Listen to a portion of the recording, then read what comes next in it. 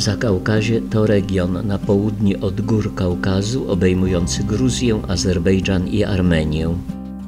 Gruzja wita nas wzgórzami okalającymi Batumi. Miasto rozłożyło się u ich stóp na brzegu Morza Czarnego. Teraz jest to punkt startu naszej wycieczki, ale jeszcze tu wrócimy.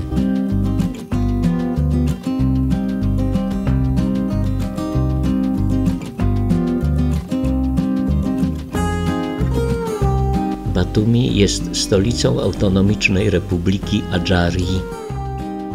Przez dawne herbaciane pola Batumi udajemy się do skalnego miasta Uplissiche. Po drodze zatrzymujemy się, by spróbować gruzińskiego chleba szoti, wypiekanego w tradycyjny sposób w glinianych piecach.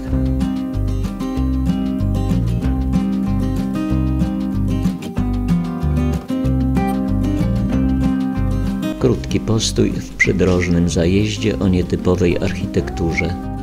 W oddali pasma Małego Kaukazu, góry trialeckie i góry mescheckie, ciągnące się na długości 270 km od Batumi do Tbilisi.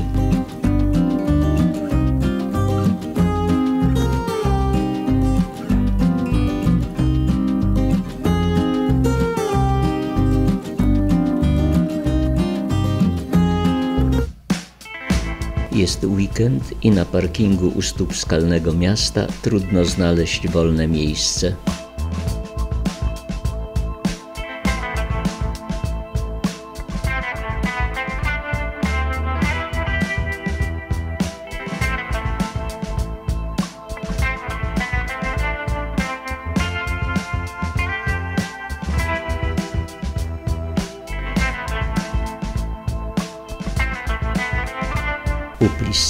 To starożytne skalne miasto we wschodniej Gruzji w pobliżu miasta Gori. Zostało zidentyfikowane jako jedna z najstarszych osad miejskich w Gruzji. Powstanie budynków datuje się od V wieku przed naszą erą do późnego średniowiecza. Są one mieszanką unikatowych stylów Anatolii i Iranu. Miasto wznosi się na skalistym i wysokim brzegu rzeki Ktwari, która zwana jest także Kurą.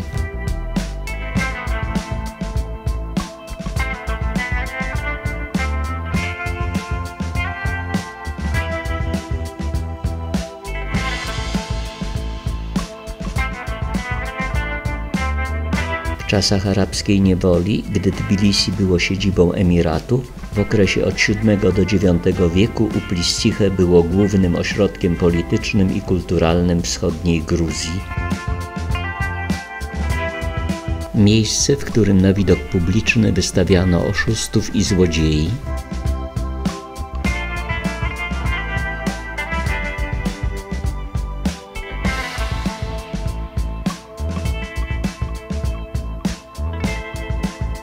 reprezentacyjna sala pałacowa królowej Tamar.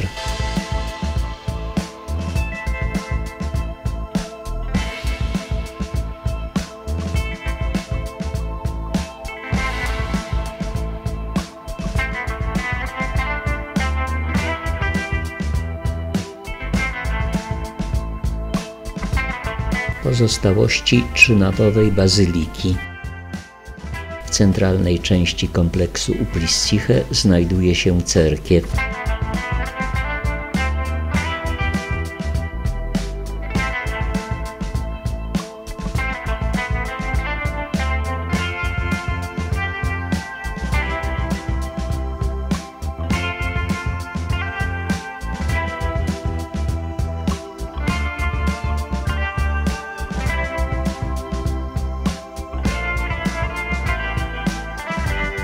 Miasto praktycznie zostało opuszczone w XIV wieku, a wiele obiektów uległo zniszczeniu w wyniku trzęsienia ziemi w 1920 roku.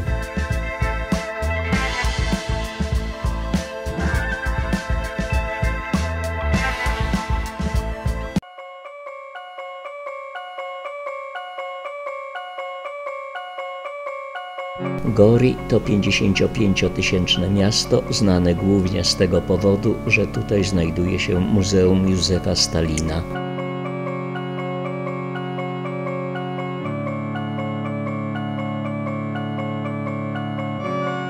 Meble przeniesione z kremlowskiego gabinetu Stalina.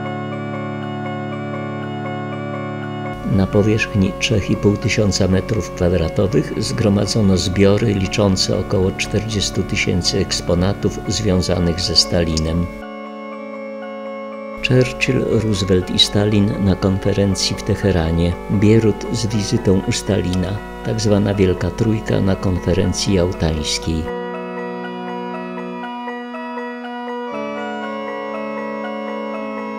Chata, w której Stalin przyszedł na świat i spędził pierwsze cztery lata życia. Opancerzona salonka, którą od 1941 roku podróżował Stalin, gdyż nieustraszony wódz bał się latać.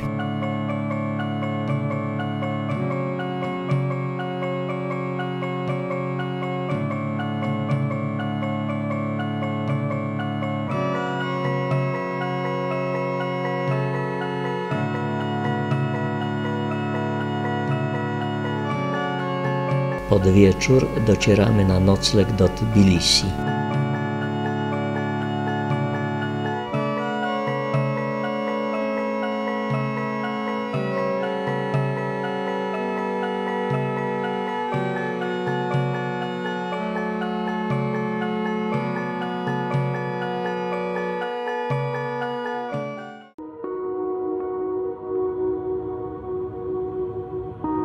Monastyr Dżwari, którego nazwę można tłumaczyć jako Monastyr Krzyża, został wybudowany w VI wieku.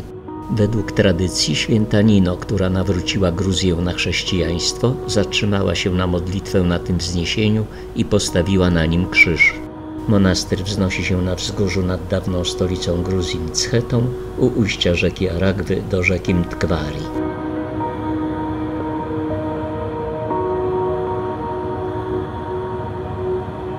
Jest to czteroabsydowa świątynia, bardzo popularny typ architektoniczny na całym Zakaukaziu.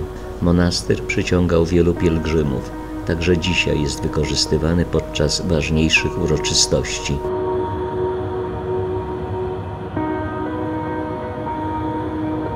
Zgodnie z nazwą monastyru w centralnej części kościoła wznosi się duży drewniany krzyż.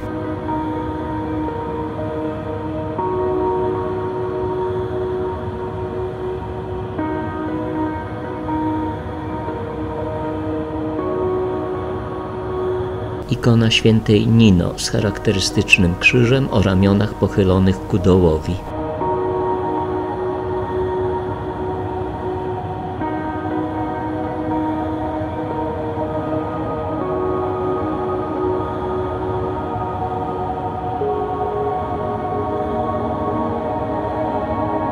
Do tego malowniczego zakątka chętnie przybywają młode pary na sesje zdjęciowe.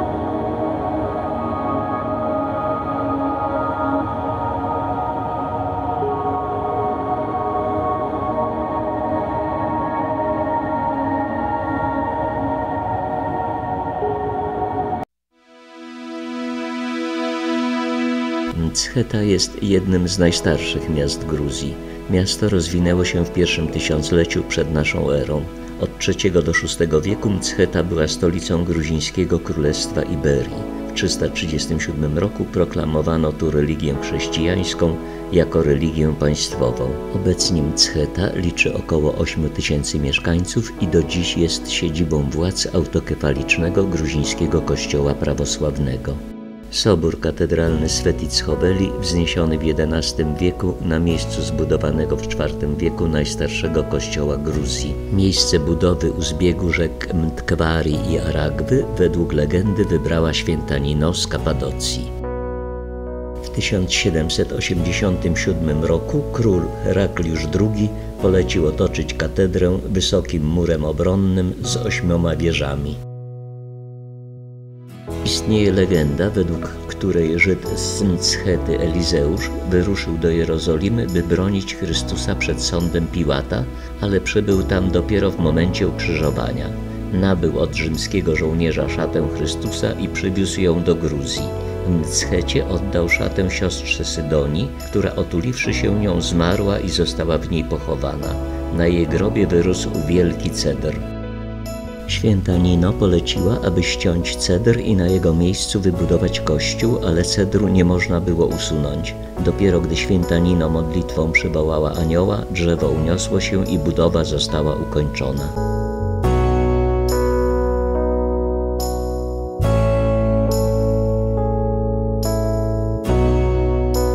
Katedra była wielokrotnie odnawiana i przebudowywana. Jej ściany wewnętrzne były pokryte freskami, ale z okazji pobytu cara Mikołaja I w 1830 roku freski pokryto tynkiem.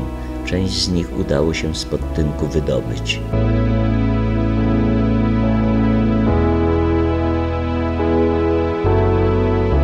Grobowiec Sydonii w miejscu legendarnego cedru.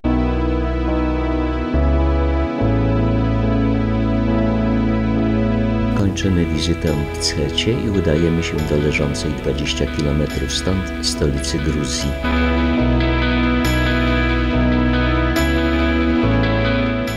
W centrum Tbilisi, na wzgórzu świętego Eliasza, znajduje się Sobór Trójcy Świętej. To brama wejściowa na teren soboru, a obok dzwonnica. Budowę soboru rozpoczęto w 1995 roku, a uroczystej konsekracji dokonano w 2004. Sobór ma 68 metrów wysokości, 5000 metrów kwadratowych powierzchni i jest jedną z największych świątyń prawosławnych na świecie. Rozległe wnętrza soboru mieszczą 11 ołtarzy na różnych kondygnacjach.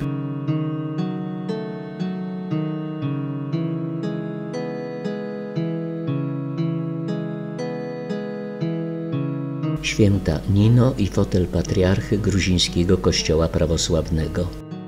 Krzyż świętej Nino z charakterystycznie opuszczonymi ramionami.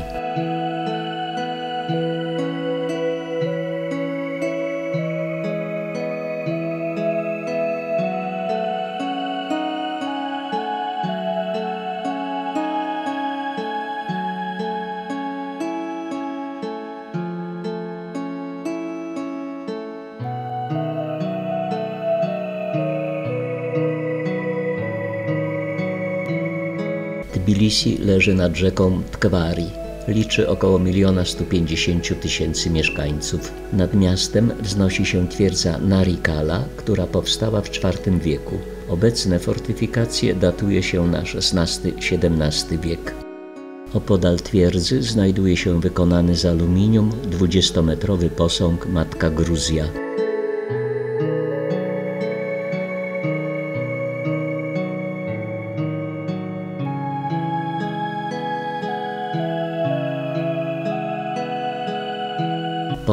Króla Wachtanga Gorgasali obok cerkwi Metechi.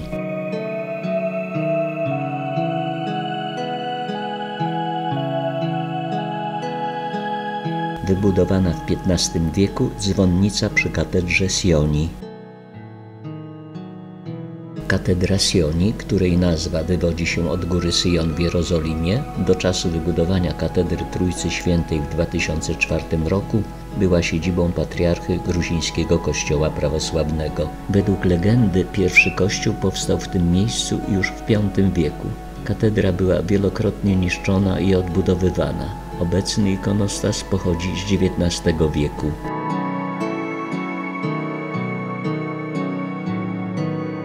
Katedrze przechowywany jest krzyż świętej Nino, uznawany za najcenniejszą relikwię gruzińskiego kościoła prawosławnego. Z połowy XIX wieku pochodzą freski autorstwa rosyjskiego malarza Grigorija Gagarina. Most pokoju nad rzeką Tkwari.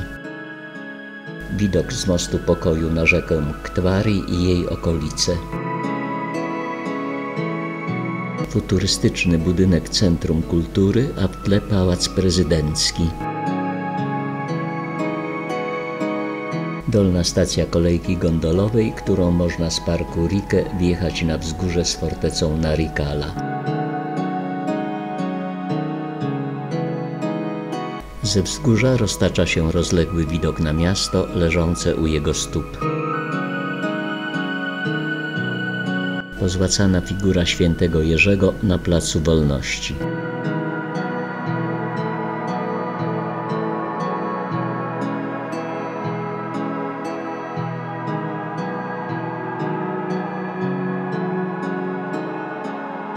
Most pokoju, który przeciwnicy futurystycznej architektury nazywają pogardliwie podpaską.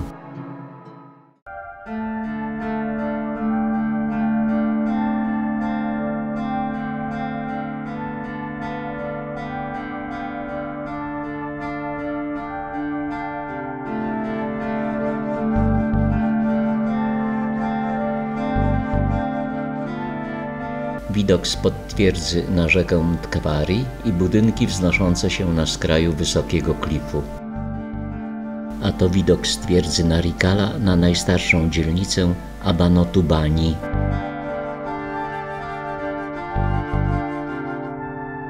Sunnicki meczet z XIX wieku to jedyny meczet w Tbilisi, który przetrwał czasy komunistyczne.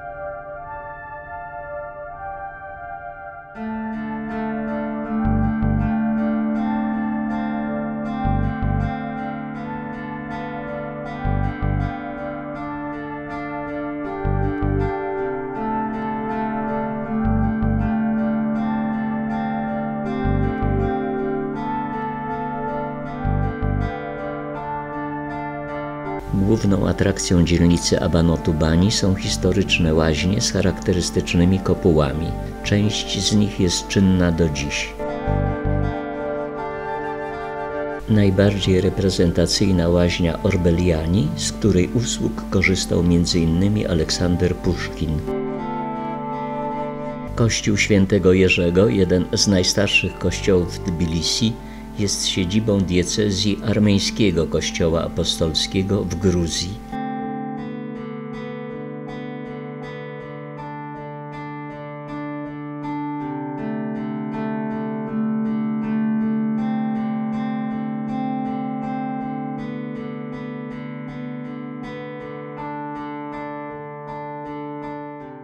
W drodze do kościółka Cminda Sameba zatrzymujemy się w fortecy Ananuri.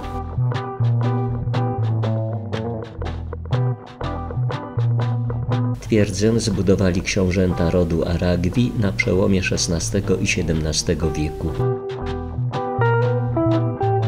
Centralną część fortecy zajmuje kościół w niebowzięcia Najświętszej Marii Panny. Na frontowej ścianie wykuto krzyż i drzewa życia.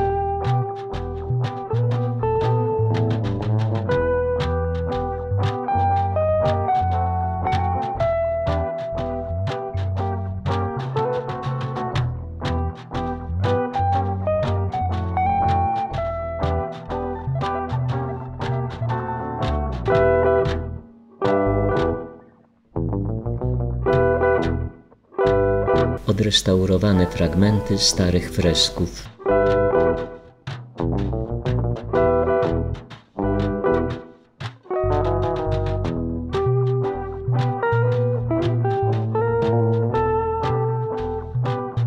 Tuż poniżej murów fortecy rozciąga się jezioro Żenwalskie, sztuczny zbiornik utworzony w wyniku przegrodzenia tamą rzeki Aragwi. Twierdza ma też swoją mroczną historię. W 1739 roku Eristawi Szanse z Kasani podpalił Ananuri i wymordował rodzinę Eristawi z Aragwi. Cztery lata później chłopi z Aragwi zbuntowali się, wymordowali swoich nowych panów i poprosili króla Tejmuraza II z Kartli o panowanie nad nimi. Po kolejnych trzech latach przeciw władcy wybuchło powstanie chłopskie. Zostało ono jednak krwawo stłumione. Na terenie twierdzy jest jeszcze jedna cerkiew, nie została jednak odrestaurowana.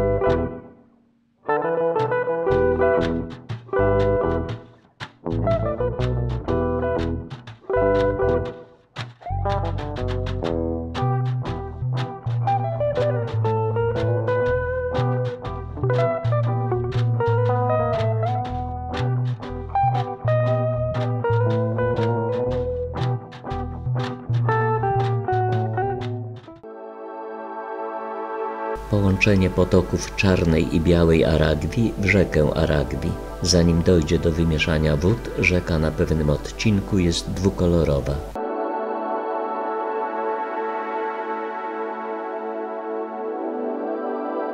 Poruszamy się malowniczą trasą zwaną gruzińską drogą wojenną, biegnącą w poprzek Wielkiego Kaukazu.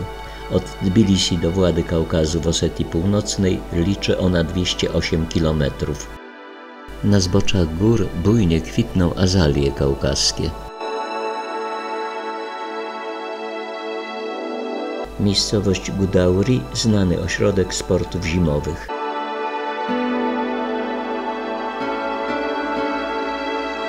Okoliczne szczyty mają powyżej 3000 metrów wysokości nad poziom morza.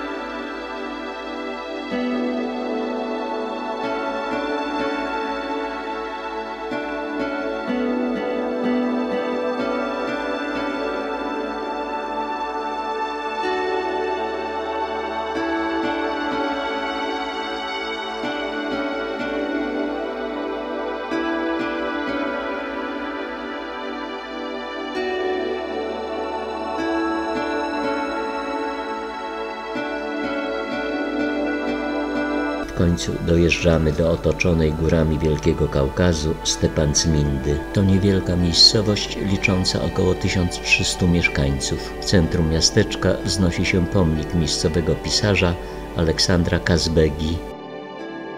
W górze, na tle częściowo przesłoniętej chmurami góry Kazbek, widać nasz punkt docelowy kościółek Cminda Sameba, czyli Świętej Trójcy.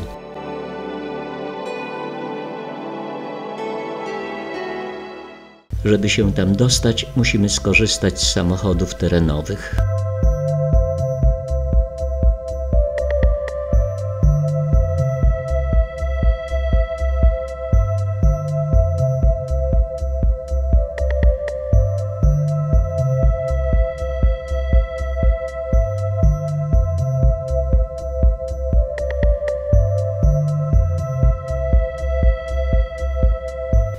6,5-kilometrowej jeździe górskimi wertepami docieramy na miejsce.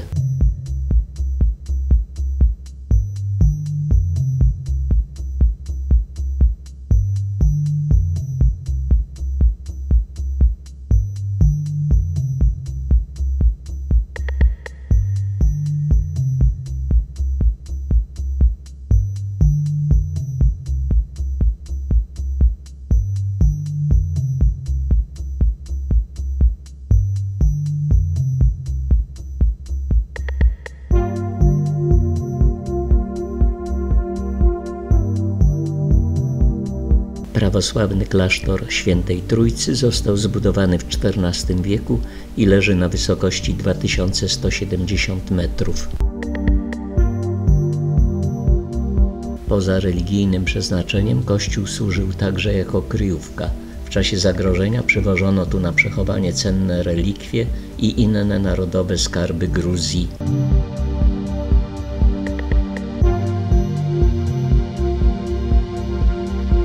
Tu widać wyraźnie, jak wysoko został zbudowany klasztor.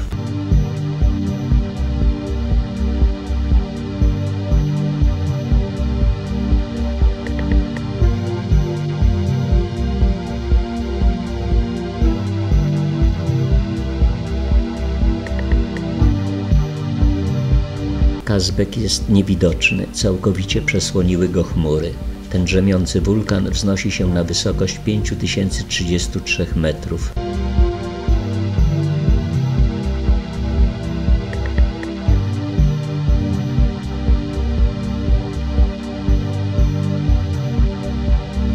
Jeszcze karkołomny zjazd w dół i wyruszamy w drogę powrotną do Tbilisi.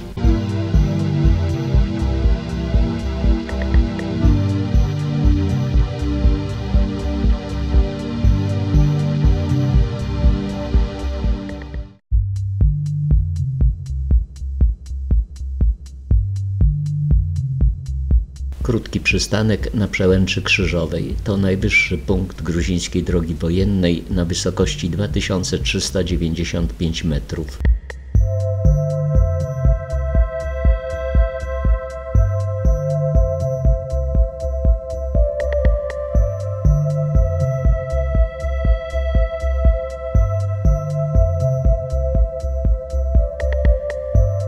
Czurczele, gruziński deser z orzechów gotowanych w soku z winogron i masie z mąki kukurydzianej z dodatkiem cukru. Niedaleko od przejścia granicznego z Armenią, u zbiegu rzek Parawani i Mtkwari, leży twierdza Czertwisi.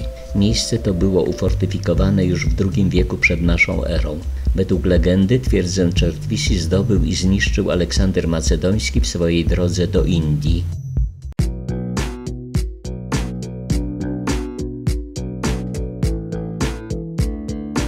Bardzia to skalne miasto usytuowane na zboczu góry Eruszeli. Zaczęto je budować w 1184 roku za panowania króla Jerzego III, a ukończono w okresie rządów jego córki królowej Tamar w 1213 roku. Cały kompleks położony jest nad rzeką Tkwari.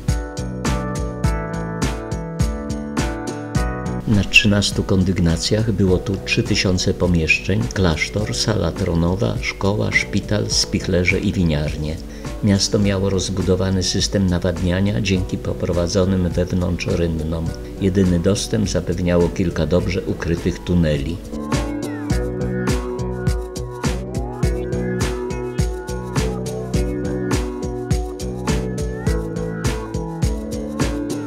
Trzęsienie ziemi w 1293 roku spowodowało osunięcie się naruszonej warstwy skał, zniszczyło około 2 trzecich miasta, odkrywając jego komnaty oraz niszcząc kompletnie system zaopatrzenia w wodę.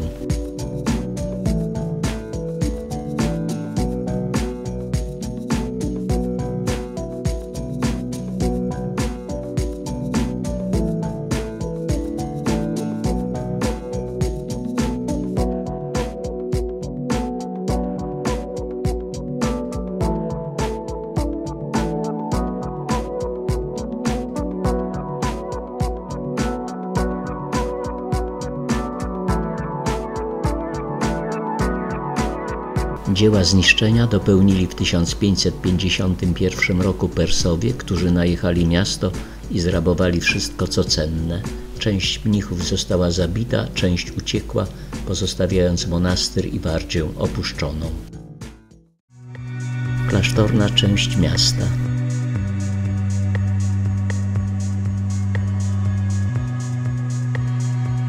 rodzaj refektarza. Pod ścianą miejsce do siedzenia, a naprzeciw miejsce na położenie posiłku. Wykuta w skale klasztorna cerkiew, z lewej strony na fresku królowa Tamar.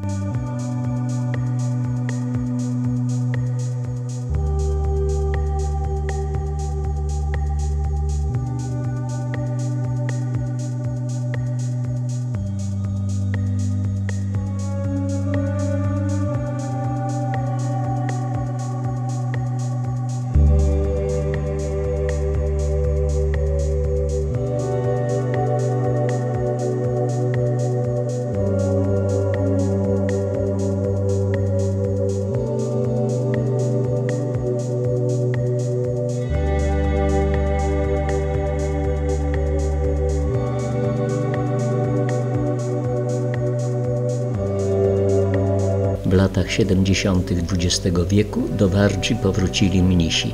Zajmują oni niewielką część ocalałego kompleksu.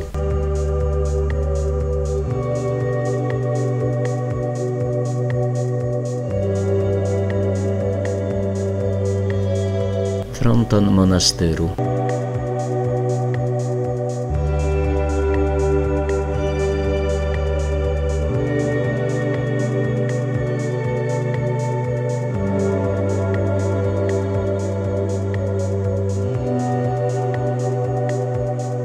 Pochodzenie nazwy miasta wyjaśnia następująca legenda. Orszak Królewski podróżował do Mchety. W Orszaku była też kilkuletnia Tamar, przyszła królowa, która towarzyszyła swemu wujowi, królowi Gruzji. Podczas jednego z postojów dziewczynka zagubiła się wśród skał. Kiedy zmartwiony wuj głośno ją wołał, w końcu usłyszał Bardzia, co oznacza jestem wujku. Warcię opuszczamy jednym z tuneli prowadzących do miasta.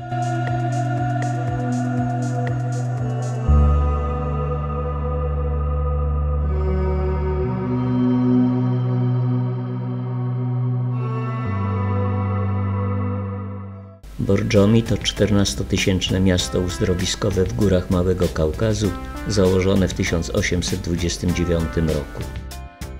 W 1842 roku miasto otrzymuje oficjalny status uzdrowiska carskiego.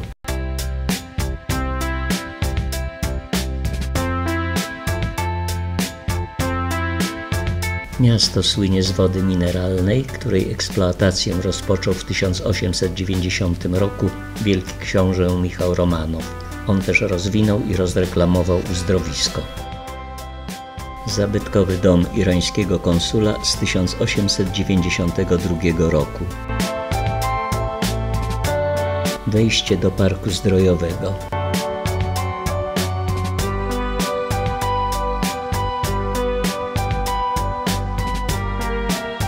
Pod zieloną ażurową konstrukcją kryje się główne źródełko wody.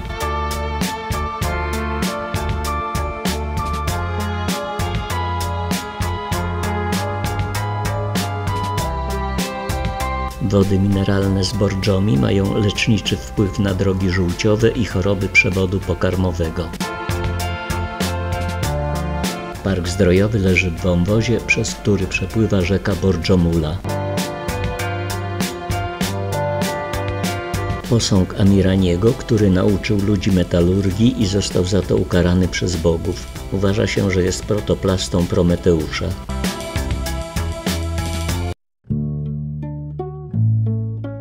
Niedaleko miasta Kutaisi, w pięknej górskiej scenerii, znajduje się monastyr Gelati, ufundowany w 1106 roku przez króla Dawida IV Budowniczego. Głównym obiektem monastyru jest katedra Narodzenia Najświętszej Marii Panny. Obok niej wznosi się okazała dzwonnica.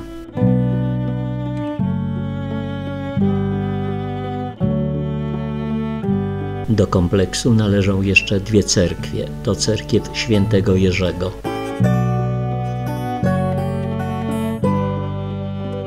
A to dość nietypowa, bo piętrowa cerkiew świętego Mikołaja.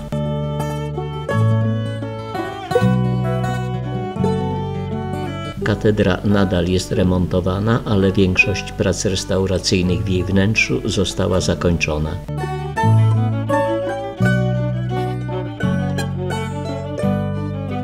piękny fresk zdobiący półkopułę apsydy.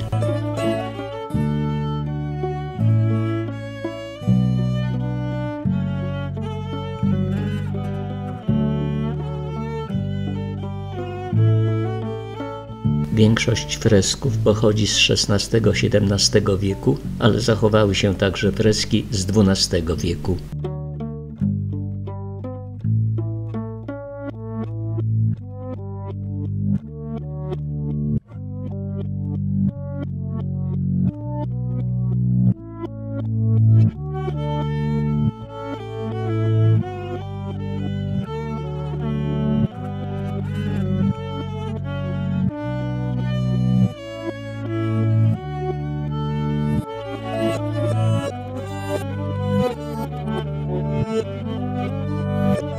Fresk przedstawiający gruzińskich władców.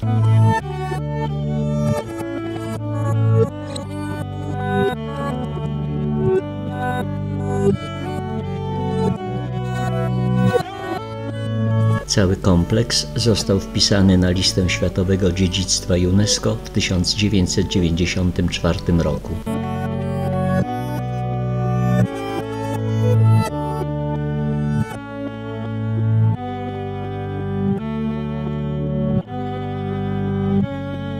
Monastyr jest usytuowany w rozległym, malowniczym wąwozie rzeki Halcitela. Jeszcze jeden obiekt wchodzący w skład kompleksu klasztornego Gelati, budynek Akademii. Przez długi czas monastyr był jednym z głównych kulturalnych i intelektualnych ośrodków w Gruzji. Znajdowała się tu akademia skupiająca gruzińskich naukowców, teologów i filozofów. Z tego powodu monastyr nazywano drugą Jerozolimą lub nowymi Atenami. Wykładano tutaj nauki ścisłe i humanistyczne, teologię, pisano kroniki.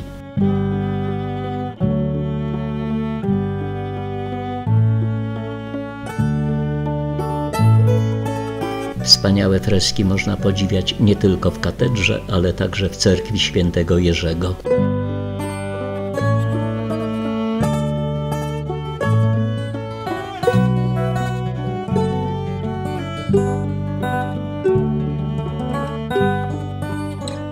Cerkiew została wybudowana w XIII wieku i zniszczona przez Turków w 1510 roku. Freski pochodzą z XVI i XVII wieku.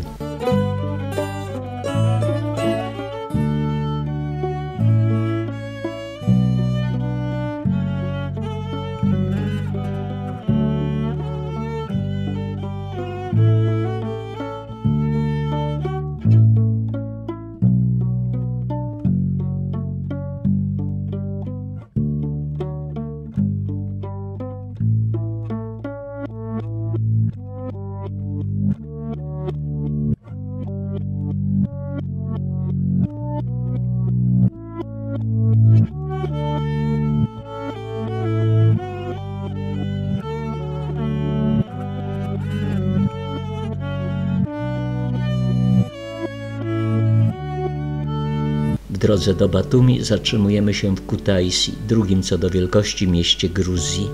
Od 2012 roku w Kutaisi ma swą siedzibę gruziński parlament, który liczy 150 deputowanych wybieranych na czteroletnią kadencję. Kutaisi w mitologii greckiej występuje jako Ai, miasto w Kolchidzie, do którego po złote runo wybrał się Jazon z argonautami.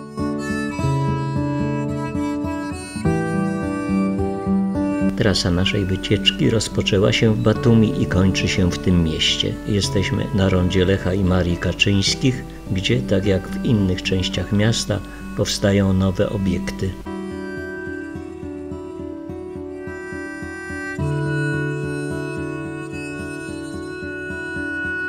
Miasto leży nad Morzem Czarnym, niedaleko granicy z Turcją. Wzdłuż morza i plaży biegnie 8-kilometrowa promenada.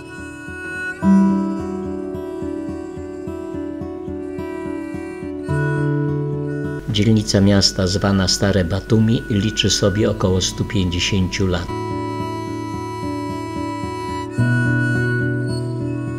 Minaret meczetu Orta Dżame z 1886 roku.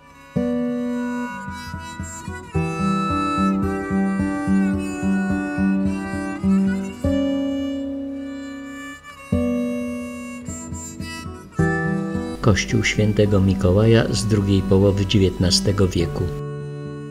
Dawny gmach Narodowego Banku Gruzji, na którego wieży zamontowano zegar astronomiczny.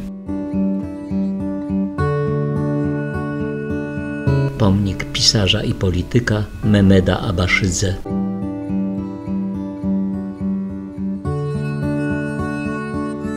Już w XIX wieku arystokraci i bogaci kupcy budowali tu swe domy. Pomnik Medei i Złotego Runa na Placu Europejskim.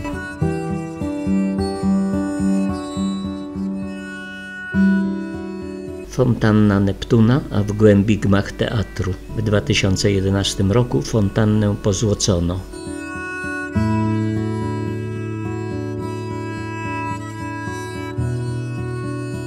fontanny przy centralnym wejściu na bulwar w Batumi.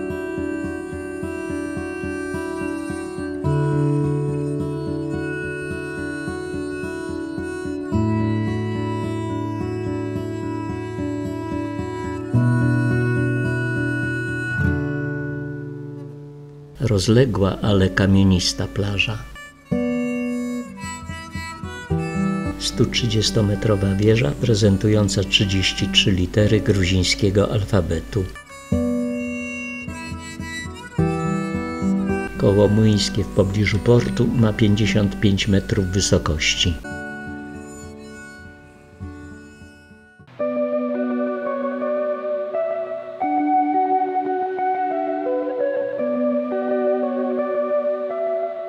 Ali i Nino, dwie ośmiometrowe stalowe sylwetki kobiety i mężczyzny, które poruszają się zbliżając i oddalając od siebie. Nino jest gruzińską chrześcijańską księżniczką, a Ali azerbejdżańskim muzułmańskim arystokratą. 25-metrowa wieża czaczy, słynąca z tego, że podobno kiedyś codziennie o godzinie 19 przez 15 minut z czterech dystrybutorów lała się czacza, mocna gruzińska wódka pędzona z winogron.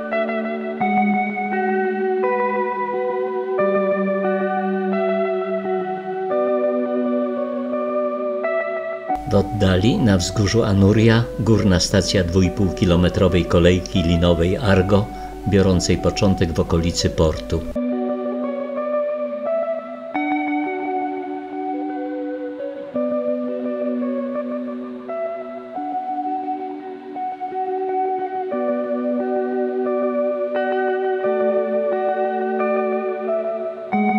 Konstrukcja zwana bramą Morza Czarnego.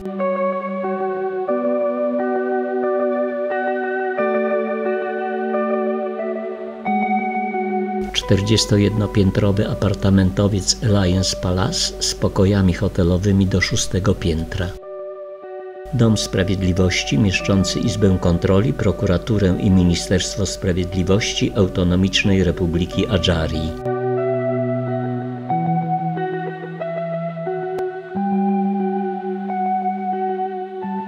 Szklana struktura nazwana zamrożoną fontanną.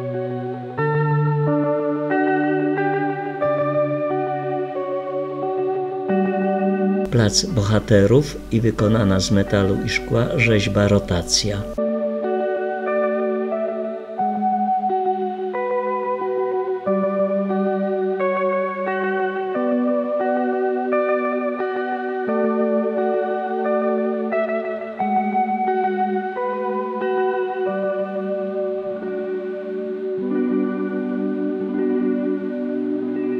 Jeziorko Ardagani i wznoszące się nad nim apartamentowce, a obok plaża i zachodzące nad Morzem Czarnym słońce. Fontanna przed gmachem uniwersytetu.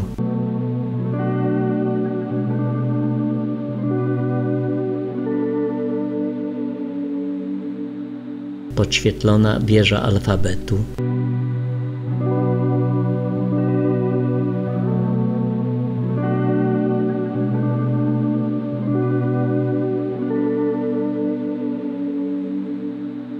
Jeziorku Ardagani po zachodzie słońca rozpoczyna się codzienny pokaz fontan tańczących w rytm muzyki pop, rock i klasycznej.